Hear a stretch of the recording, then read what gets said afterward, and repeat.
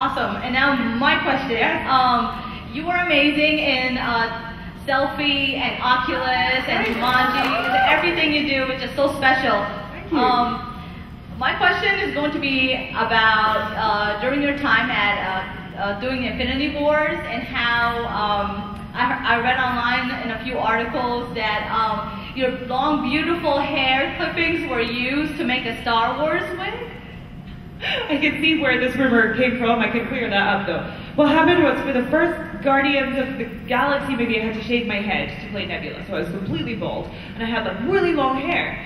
Um, and as a gift, Marvel were like, okay, we're sorry for making you be bald, but we will make a wig out of your hair so that you can wear your hair after you're finished playing the character. And I was like, oh, great, so I can like go to auditions and not wear someone else's hair, it'll be mine. Um, which is even creepier when you think about it.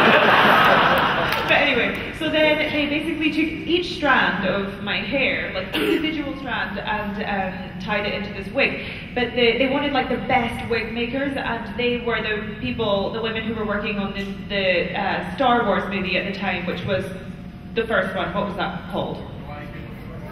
The one, you know, like of the reboot. Force Awakens. That was a test. yeah, so uh, it was the people who worked on Force Awakens, and they made the wig for me in their Star Wars like little studio thing. So I like the idea that there's all these like monster-looking things, and then just my hair.